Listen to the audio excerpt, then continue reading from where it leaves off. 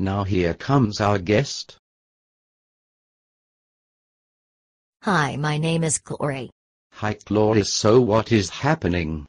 You are fired, that's what's happening. And I am taking your place.